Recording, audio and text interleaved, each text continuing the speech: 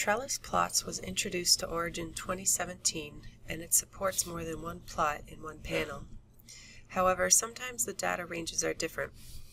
Customers asked if we can support double y-axis in Trellis Plot, so we implemented it in Origin 2019.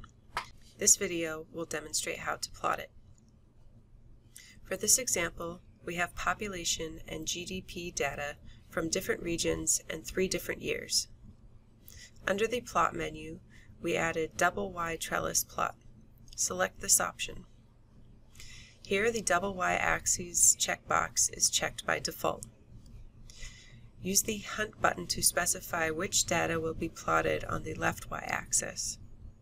You can choose multiple data if needed. Next, select the plot type that you would like.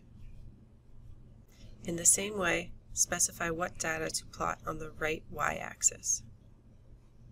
Next, set the panel variables. Here we will choose the horizontal panel to be year and the vertical panel to be developing index. Once the graph is created, you can customize it further to your liking, such as show legends horizontally. You can move the layer banner positions,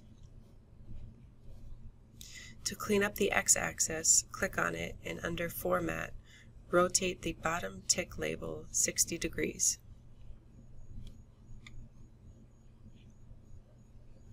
You can also modify the display of either y-axis. For example, click on the right y-axis and modify the tick labels either using scientific notation or a custom format.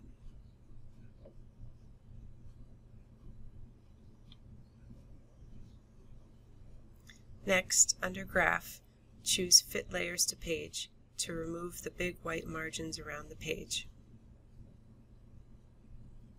Finally, you can customize the layer banner, fill color, and text color however you like, and then simply copy and paste the color setting to the other layer banner.